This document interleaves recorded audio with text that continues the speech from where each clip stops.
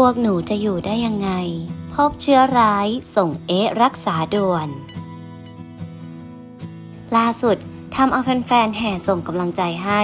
เมื่อนักร้องหนุ่ม คุณพ่อลูกสามเอจิรากร โพสต์แจ้งข่าวตนและภรรยาติดเชื้อโควิด -19 เริ่มจากภรรยามีอาการป่วยที่เข้าข่าย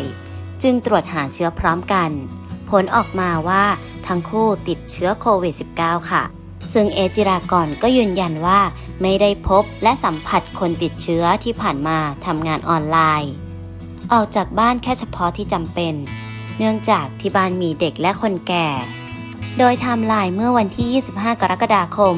ได้ไปมอบอาหารที่สถานีกลางบางซื่อและวันที่ 26 กรกฎาคม ขนย้ายของเข้าบ้านใหม่ด้วยรถส่วนตัวเท่านั้น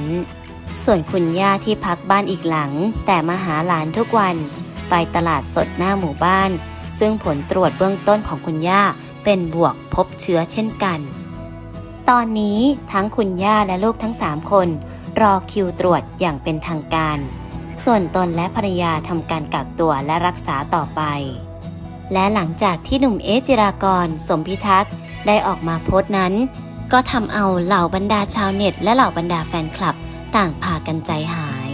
และร่วมส่งกำลังใจให้กับครอบครัวของหนุ่มเอจิรากรกันเป็นอย่างมากเลยทีเดียวค่ะ